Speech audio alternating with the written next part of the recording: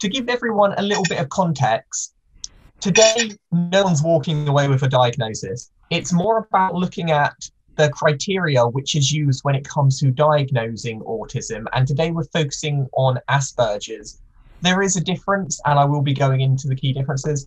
Today is about looking at what makes up a diagnosis and do you resonate with what we're saying today? If you do resonate, then it might be worth talking to your GP. If you are already diagnosed but just want to learn a little bit more about what were some of the signs, symptoms, like quirks that people were looking for when they were finding out whether or not you were on the autistic spectrum. Now, brilliant. So, Exceptional Individuals, we're an organization that supports neurodiverse individuals. This could be dyslexic, dyspraxic, autistic, ADHD, but also other ones like dyscalculia and dysgraphia, among others. Today, though, we're going to be focusing on autism or Asperger's as it was commonly known. But what exactly is exceptional individuals? Well, we help recruit diverse talent. We'll get people like us into high end organizations. We have job support. So maybe we've done coaching, one to ones, help with CVs, confidence, that type of thing. And we also work in corporates and do workshops and guides. And our lovely team in the background, 80% of us are neurodiverse, so we are experts by experience.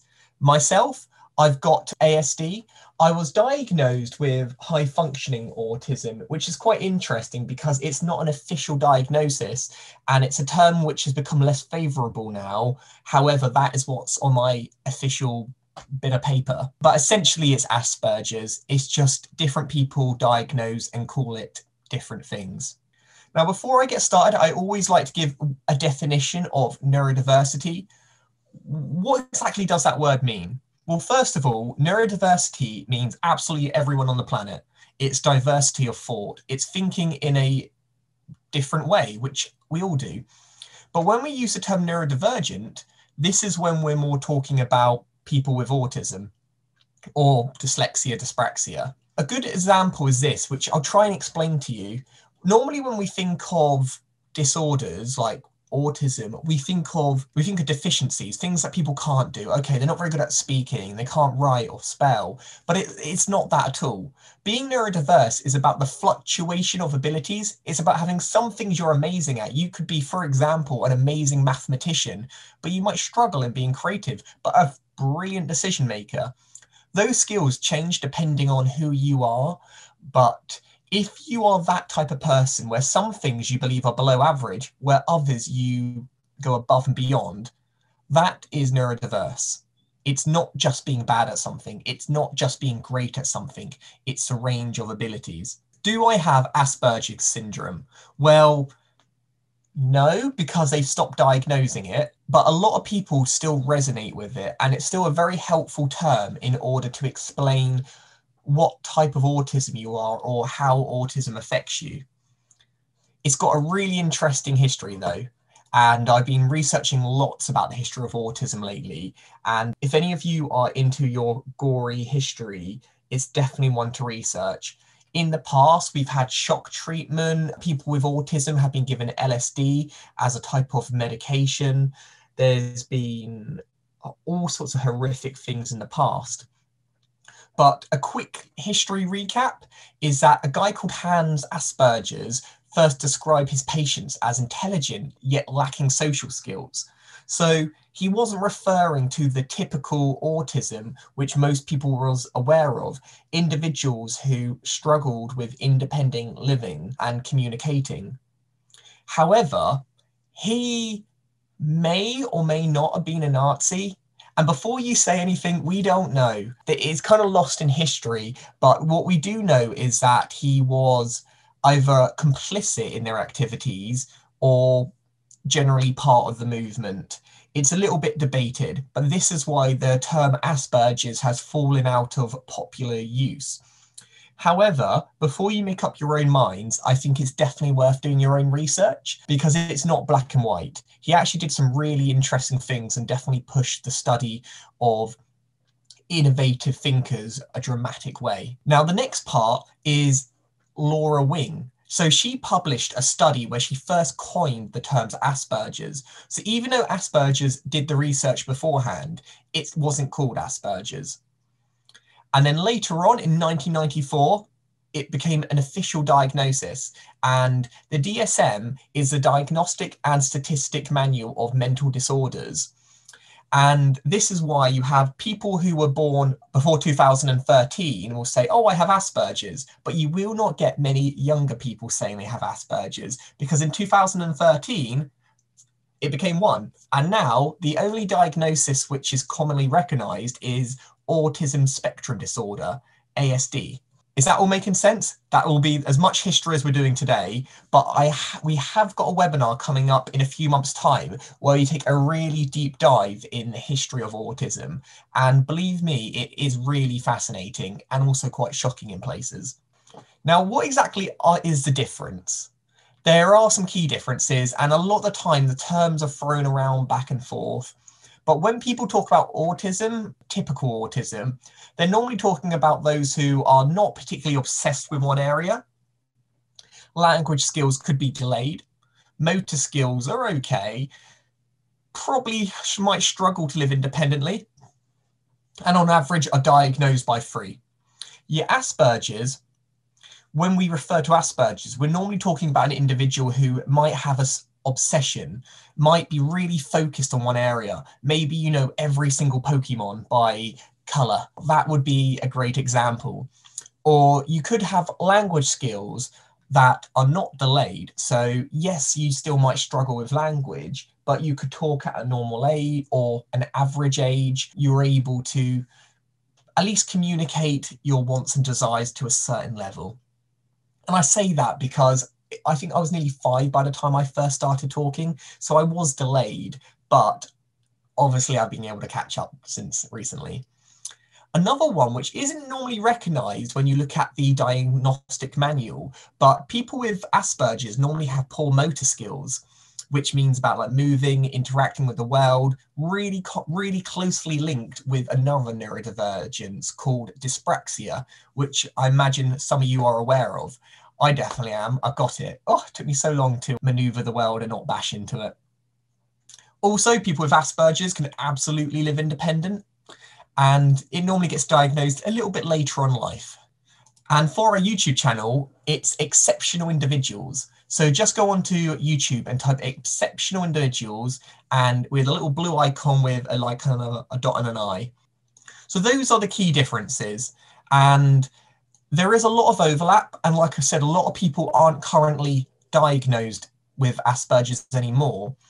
And an old term for it used to be high functioning, but we don't like to use that term anymore because by calling someone high functioning, you're calling someone else low functioning. And who likes to be called low functioning? No one. So, what activity would you rather do? Are you someone who would prefer, prefer peace and quiet and reading a book? Are you a very social person who enjoys sports? Do you like the odd party, like Elmo? Or are you a keen gamer and might not come out of your house for days? And these questions might seem a bit random, but I promise you there is a reason for it, and I'll give some good context as we get on. All right, brilliant. Well, a lot of people have said reading. And the reason we put this question is that people with Asperger's typically prefer more introverted activities, ones which are more you facing. So it might not be reading, it could be audiobooks, it could be doing puzzles, anything which is more of a solo activity, which requires you to be with yourself than other people.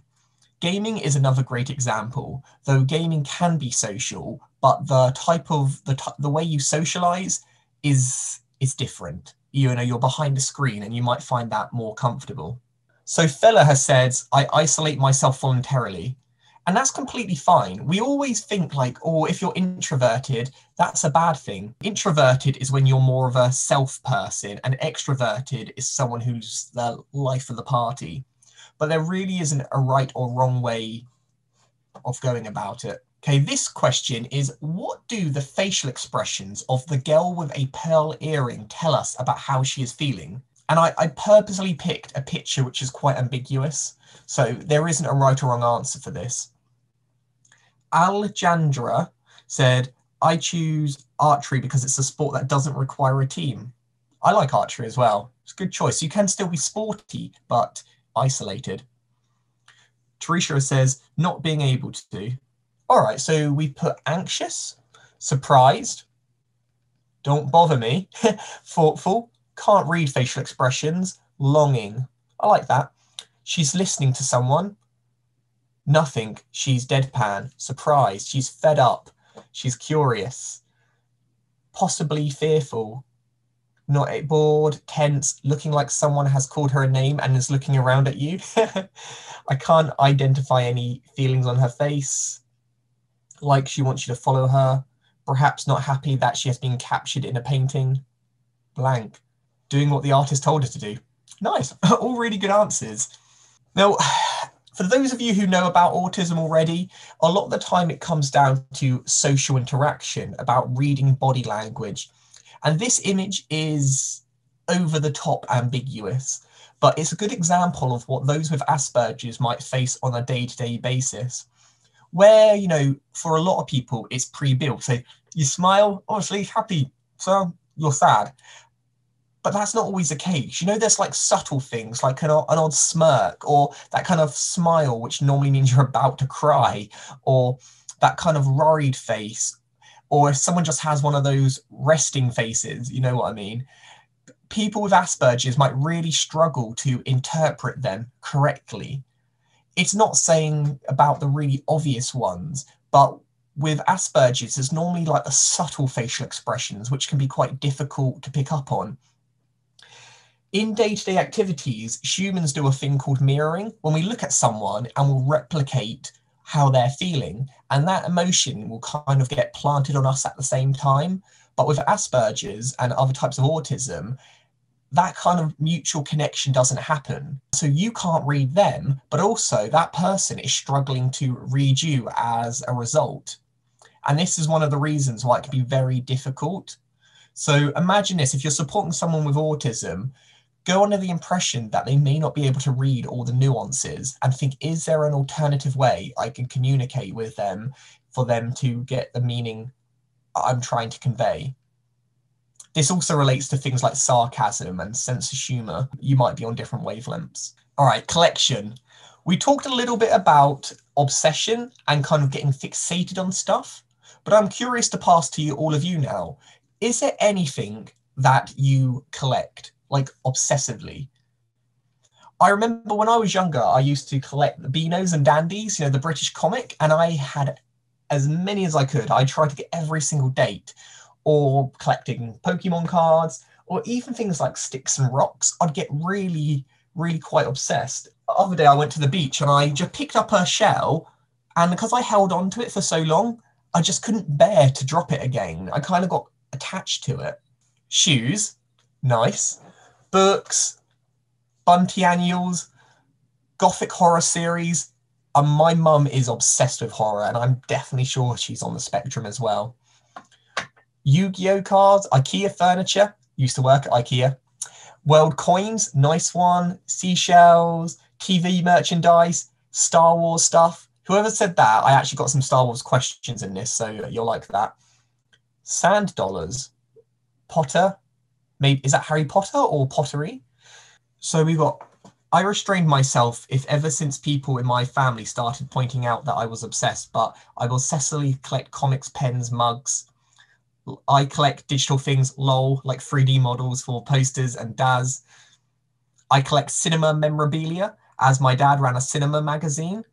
I have a Spectrum Mag, 80 Steel, novel, horror, cigarette packets, and around the world books, but I don't read them. I know, fella, I got a lot.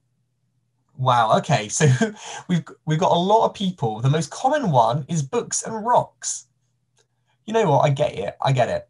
Who doesn't love a good rock?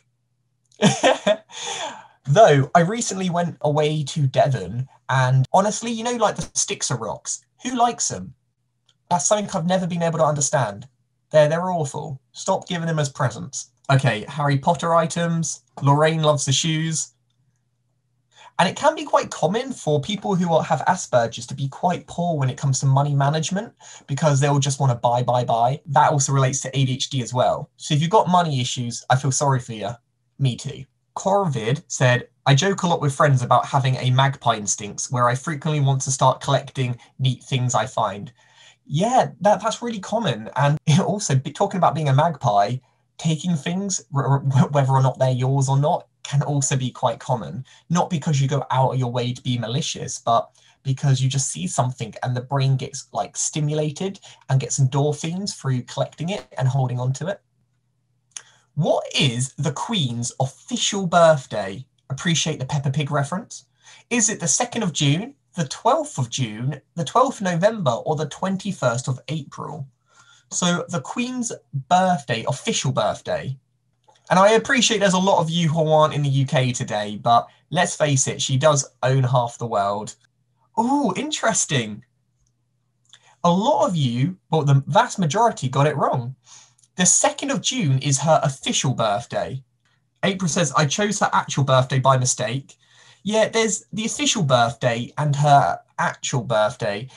Is it the 12th of June that is her other birthday? And why why am I asking this? I'm sure we could chat about Her Majesty till the cows come home, but the reason why is that those who are have Asperger's tend to be really good with dates and remembering key bits of information.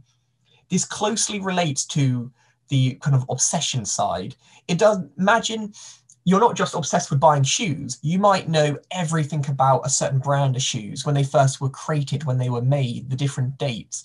You might remember parts of history which no one else remembers. Crystal says, it's not something that would be common knowledge in my part of the world. I'll, I'll let you off on that. I remember my friend, her real birthday is 21st of April, but April weather is not too, is carries. Okay. Yeah, I, personally, I think she's a bit greedy.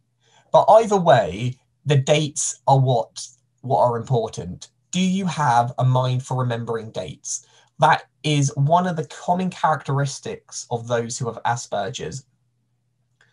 Though before I continue, I just want to make a quick little caveat is that say if some of these you do not resonate with, that doesn't mean you do not have autism. These are just common characteristics.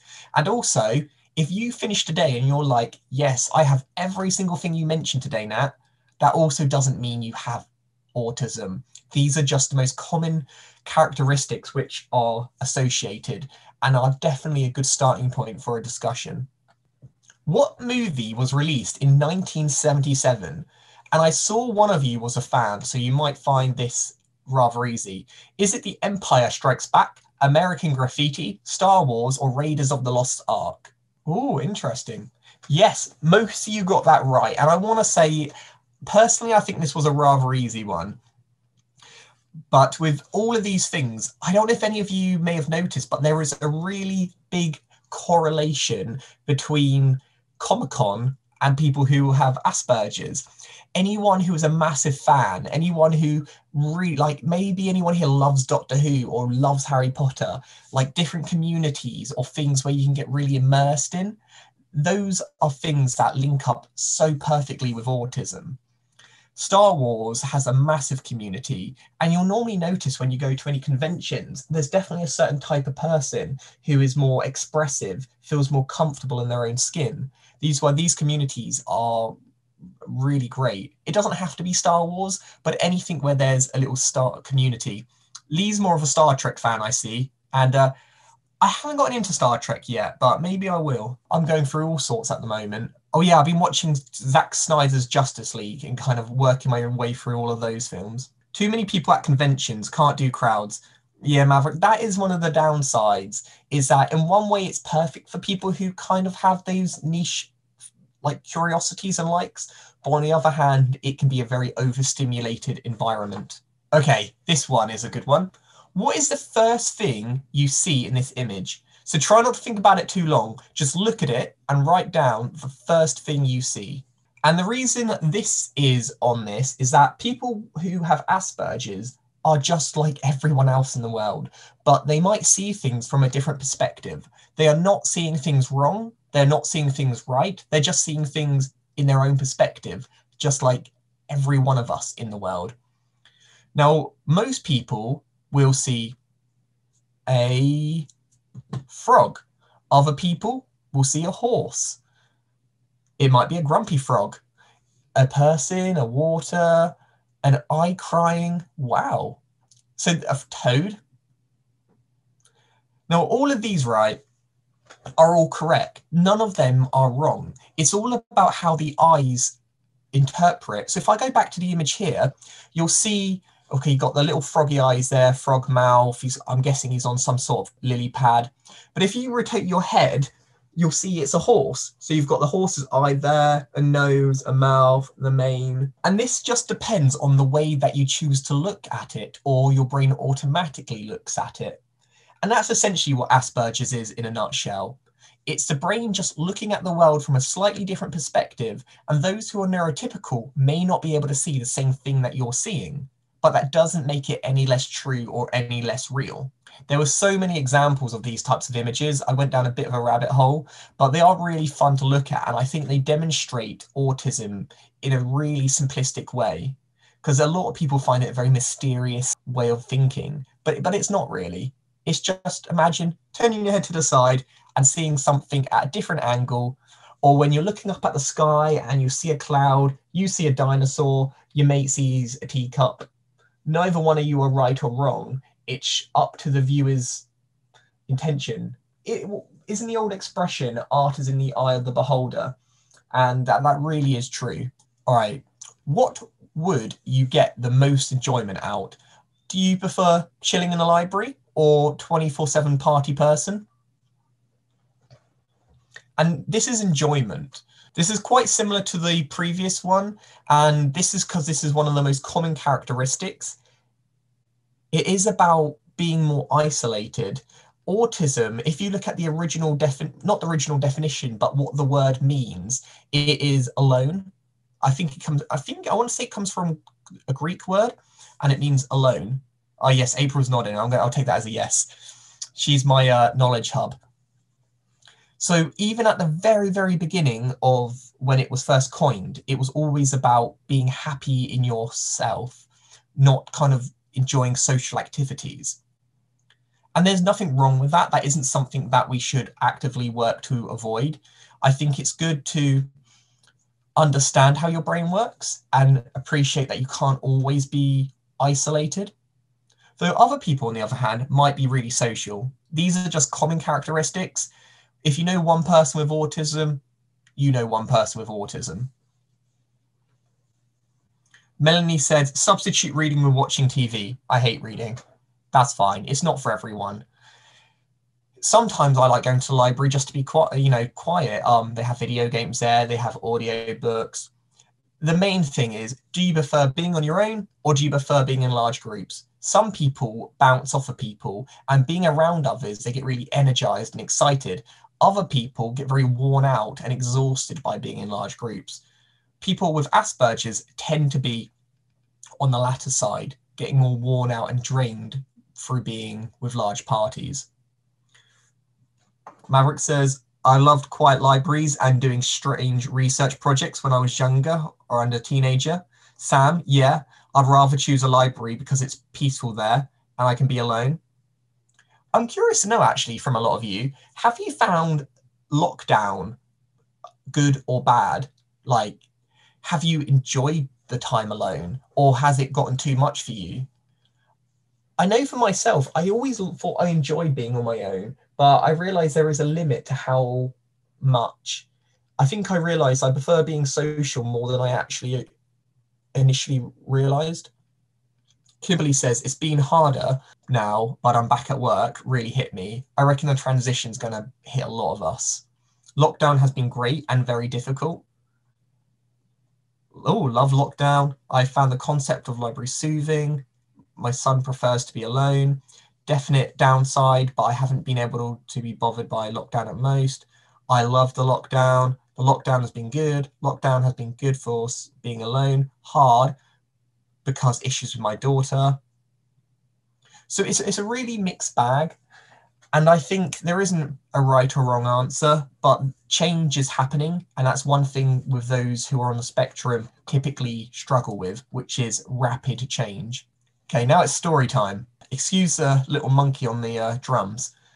Once a monkey started, and what I need you to do is finish the sentence. So whatever pops into your mind, just get it out there and try and think outside of the box. People who have autism might struggle with imagination, but those with Asperger's tend to have a really vivid imagination. They typically are able to create stories and images which other people wouldn't necessarily even start to think of. Think of things like Adventure Time or Rick and Morty, cartoons which are so bizarrely fantastical. I'm not saying the creators of these are on the spectrum, but these are typical ways that people who think differently have been able to come up with weird, wonderful, and wacky ways of seeing, interpreting, and writing down the world we live in. All right, this is always a fun one, and also a high likelihood for possible trolls. All right, little monkey, go away. All right. Once a monkey started to bang the tambour dr drums, gracefully uh, at a bear, at a garden. It could not find a way to stop without drawing attention to itself. It was embarrassing. Riding a bike to travel around the world. The monkey is a politician at home. It started jumbling and trying to do a woman holding a baby. Trying two toast marshmallows on a drum. Very nice. Drawing a picture of a mouse. Oh, wow, there's so many. Riding a bike to travel around the world. Good monkey to began playing the drums to pass the time during the pandemic. The monkey at a colourful palm tree at a beach in a rainbow coloured coconut. Wow. So this is beautiful chaos at the moment. And what this is meant to symbolize is being able to escape into your own world it's quite common that those with Asperger's can spend hours and hours on their own and they're not bored. It's because they've been able to kind of create their own universe. This will be a super nerdy reference, but for those of you who understand it, good on you. If you've been watching WandaVision on Disney Plus, she's a super um, hero that just couldn't take the outside world. She found it too busy, so she created her own little like bubble and universe and this was her place where she felt safe.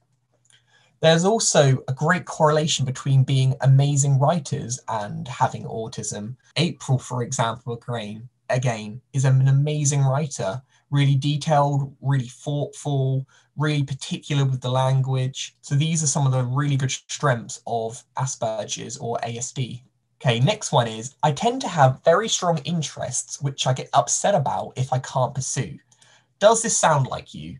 Does it something you disagree with? Like, not at all? Or something you really agree with? It's not being understood because there is a spelling error. I have always been able to create my own little world. I was a huge storyteller when I was a child, and now still am. Oh, that's really nice, Kelly. And for those of you who said it was a bit confusing the way I word it, I'm heavily dyslexic, so uh, excuse that. typically, if you aren't able to pursue something you want to do, this could make someone with Asperger's very agitated or very uncomfortable. And the way I explain this is think of like kind of like blinkers on the eye. It's that you are hyper focused in achieving your goal.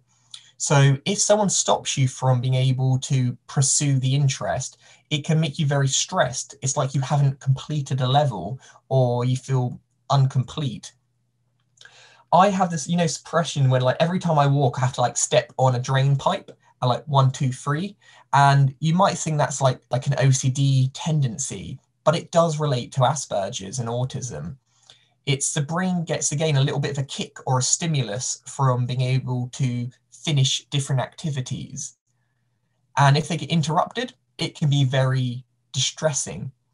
So if, for instance, you're a parent and you're supporting a child who has autism, sometimes you might think it's not appropriate to finish X activity, but actually by letting them finish that pattern, it can make the whole process so much smoother because in their mind, stopping and starting might just throw them completely off tangent. Sam says definitely. When I was younger, learned to work around it though. Kelly's when I was growing up, I always had to touch any uh, Camaro car that I saw. If I couldn't do it, I would get upset. My family thought it was sweet. it's it's so cool. Like all of us have our own little quirks, and I had so many where uh, I couldn't walk backwards, or if I passed like a type of lamppost, I'd have to turn around, and I couldn't tell you why I had to do it. I just had to do it because if I didn't do it, I kind of felt really weird inside, and that's a common characteristic it's one which is about the brain kind of achieving a goal that it had planned out for you, even if it was sub- subconscious. Joe says, It can't complete an activity, I feel unsettled. Yeah. All right, here we've got to some facts. So the first one I got is avocados are a fruit, not a vegetable. Two, the Eiffel Tower can be 15 centimeters taller during the summer. Australia is wider than the moon. Or typographobia is the fear of closely packed holes. Now, why is this related to Asperger's? Well, as we went back to the ones about, for instance, remembering dates like the Queen's birthday or when films came out like Star Wars, it's all about the how, what the brain finds interesting. So imagine this like a uh, facts or interest could be like sugar to the brain and it like wakes it up. So with someone who has a real passion about something, every time their brain enjoys something, they'll kind of get a little kick out of it. And this is why those with autism tend to become experts in one particular area. Neurotypical people, people who do not have a unconventional way of thinking will most likely be generalists, so, you know, a bit okay at most things. While those of us who have ASD will normally become so focused and specialized on one area that they might even be the best in that sector. But any sort of facts, numbers, statistics are something which the brain finds very easy to latch onto a little bit different if you also have dyslexia, but if you just have ASD or Asperger's, very common. There's this common thing where everyone assumes that everyone with Asperger's wants to become a coder. Not true, but there is definitely a reason why those sort of data driven roles do appeal to people who might think differently. And it doesn't have to be the tech sector, any kind of industry which allows there to be a very firm right or wrong answer, black or white, which the brain can easily process, tend to appeal to those with Asperger's. But if any of you have what we call a co occurring condition, so Asperger's and dyslexia or and dyspraxia and ADHD, it might make it appear a little bit different. So take it with like a pinch of salt. Okay, so what we got here? I oh, Alex says I have trypophobia. It's awful to fear of wide open spaces. I find it fascinating because I'm obsessed with the human brain. Fascinating though. Being specialist happens at work. I sponge up work in my area. It can cause social issues and can be intimidating to others. It's also a little different when you also have ADHD. You may have a passion, but might struggle to sustain it and become disciplined in it. Kimberly, being specialist happens at all. Okay, we said that. So all of these are really, really good answers. And just be, it sounds like it's not always a positive thing. You can become so focused in one area that other areas take a bit of a hit. It's not uncommon for those of us to struggle with relationships. That's a common downside, I suppose, to being really, really focused on a given area. A really good example of someone who resonates with having Asperger's is Bill Gates from Microsoft. He, you know, was so dedicated to what he did that other things on his life kind of fell apart. There's so many cases of, you know, the sad genius, like Vincent van Gogh's.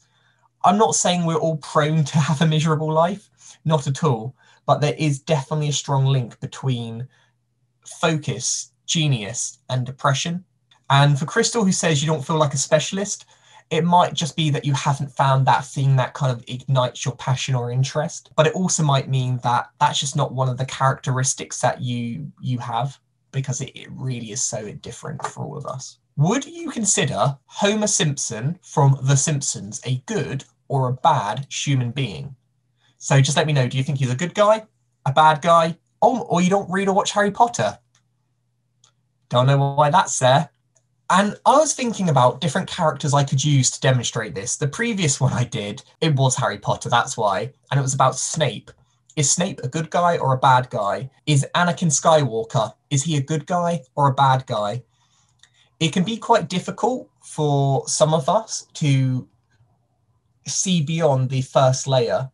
Okay, the person strangling his son, he's a bad guy. But under the surface, he supports his family, he's gone to space, he's saved Springfield numerous times. Uh, or with Sky with Anakin, yes, he became a, a baddie and he ended up killing loads of little Jedi's or Padawans, but he genuinely cared and he did have redemption in the end.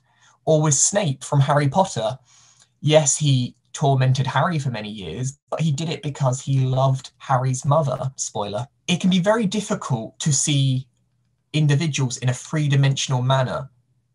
It, you know, people with ASD aren't very good at kind of digging beneath the surface. And this is why people say, oh, I take it so literal. For me, Anakin is a very dumb guy. Sorry to the other fans.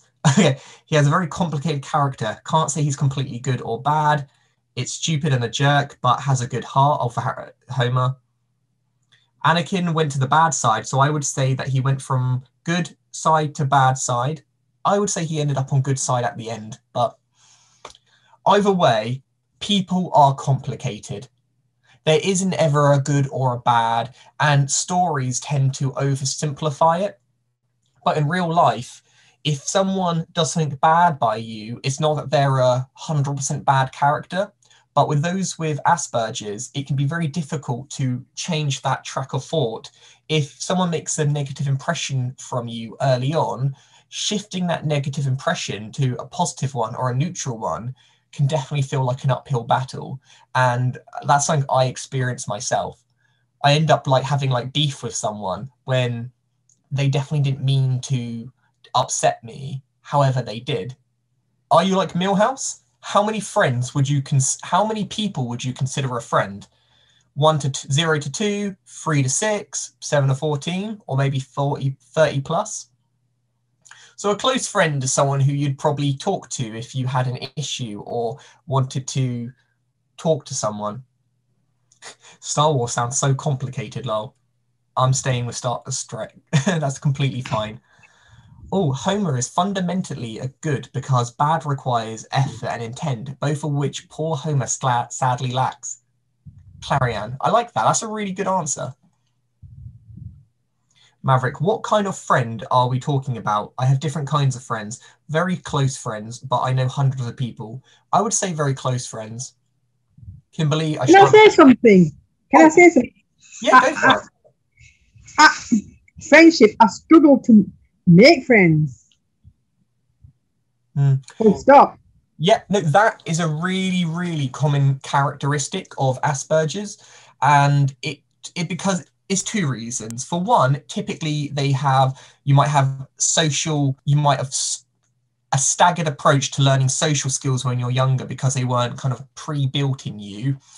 The second one could be the way that communication happens and misreading signals just like we saw the painting of the girl with a pearl or Homer Simpson, you might unintentionally read the person the wrong way. But what I would say is, those with Asperger's, the friends you do have tend to be really good friends. Some people might have hundreds of friends, but they don't really know them and they don't go above and beyond. But if you have one or two or three to six, I would actually say that's probably the best number possible because they tend to be genuine.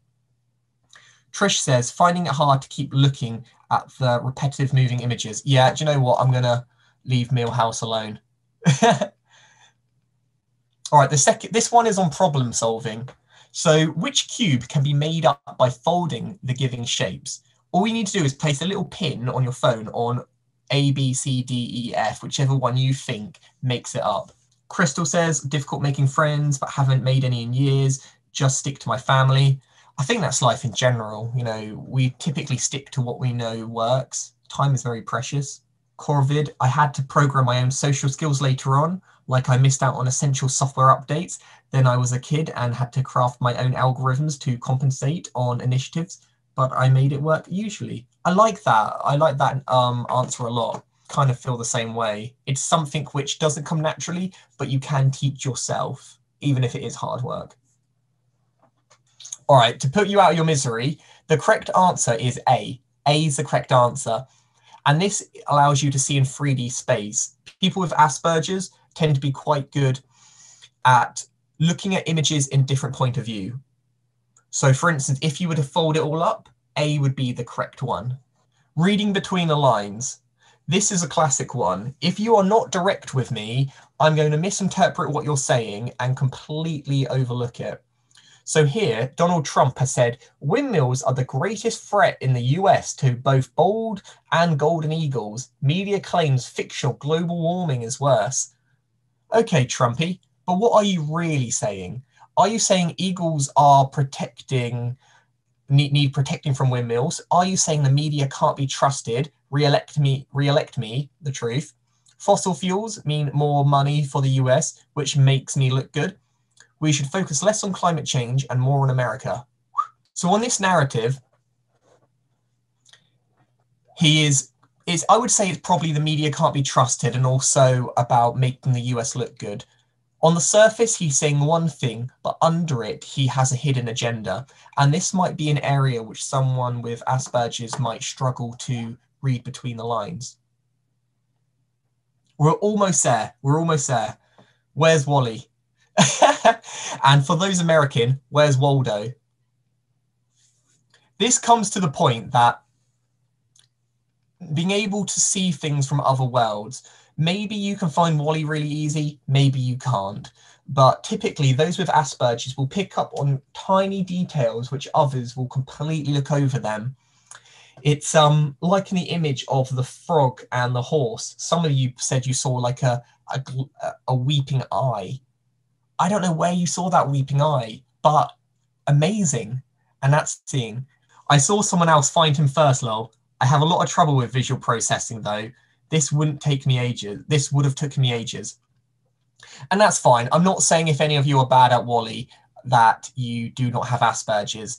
It's more about being able to see things which others do not see. So you might pick up a different piece of information via this. So just to summarize, Asperger's is difficulty with social interaction, restricted interests, desire for sameness, distinctive strengths. Now, some of these strengths include remarkable focus and persistence, you know, never kind of giving up, being making sure that you're an expert in one area, altitude for recognizing patterns. Maybe you kind of look at things from another way, you notice colors or lines or things which no one else would even dream of recognizing. Attention to detail, like we said. Now, with all these strengths does come challenges, and some of these challenges could be hypersensitivity, maybe sound, like going to Comic Con is too noisy, maybe, you know, get someone hugging you, you just don't like the feel of it, or certain clothes. It could be that difficult with non-verbal communicate conversation so, you know, facial expressions, you know, subtle differences in how the body moves and picking up what that really means. Also, anxiety and depression, which sadly is really common when it comes to those with autism. Smells for me. My partner says I'm like our dog. I like Wait, it, sorry, can I ask a question? Is yeah. anxiety and depression very common in Asperger's?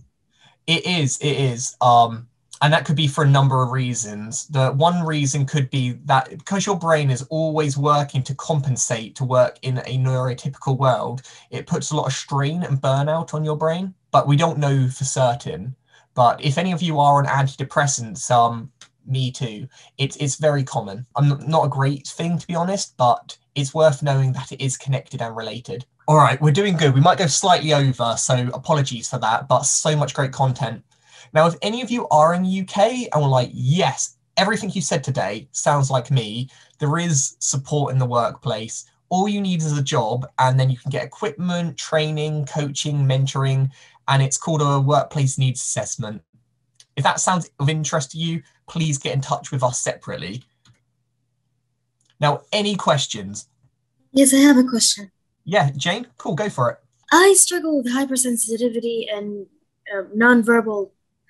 I don't know what you call it, but just not wanting to um, communicate verbally, but only sometimes when um when something happens or I'm frustrated, but not all the times. Okay, I mean, a lot of these kind of symptoms or characteristics, whatever you want to call them, they don't have to be consistent. They, they can like fluctuate. So depending on your mood, if you're stressed, if you've got other things going on in life, that's why sometimes it affects you and other times it doesn't. And one of Alexa says, can you talk a bit about it in women? Big old subject in women. Autism didn't exist in women early on. Of course they did. It always has. But the the way that it looks and appears is very different in women and that's one of the reasons why they typically get missed is that the way it shows itself is different. Or why don't we go for patients? I would like to ask what are the, the you know like women we tend to mask autism or Asperger's as we present ourselves as neurotypical. Yeah. So what are the one things that normally anyone, any doctors or professional who diagnose, what do they normally look for? Because we are look for we look very normal. We do act, we do talk, we are able to respond to you. So what do we do they actually look for all the time? Hmm. Well, a lot of the things that I mentioned today is what they'd look for, but it's normally a lot more subtle. So mm-hmm for instance, I would go and online, there's like characteristic quizzes, and by doing them and going to your doctor and giving them as much information as possible, because normally in the consultations that you have with them, it just isn't long enough for them to get a firm understanding. Yes, so yeah, yeah. It has yeah. to it has to put you at a disadvantage in in communication settings so if it's negatively impacting your life whether it's in education or day-to-day life that's when they'll take it seriously and start looking into it yeah uh joe thank you so much I just want to say thank you for the session. It was really informative. I, would learned some time ago that some people with schizophrenia have been misdiagnosed when they actually um, have autism. Is that correct? Yeah, Joe, really interesting. And that goes back to like the, the very, very beginning of history. A hundred years ago, when autism was first coined, they it was referred not to autism that we know today, but to schizophrenia. And they used to do electric shock therapy, but I can say it's not the same. It's just it was a very, very poor understanding of it.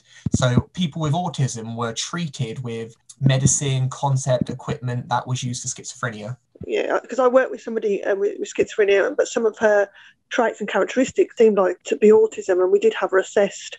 Uh, and she was autistic. I mean, it didn't take away the diagnosis, unfortunately, of schizophrenia, but it helped us uh, support her a bit better. Yeah, no, thank you. Okay, I think I've only got time for one more, but uh, Teresa, if I'm pronouncing that right? Okay, okay. Who can do assessments? I'd say get in touch with us. Get in touch with us on a one-to-one basis because that's a, a big subject. Lee, I also want to say that interactive, brilliant, great session. Oh, lovely, everyone. That's really nice. Well, how about this?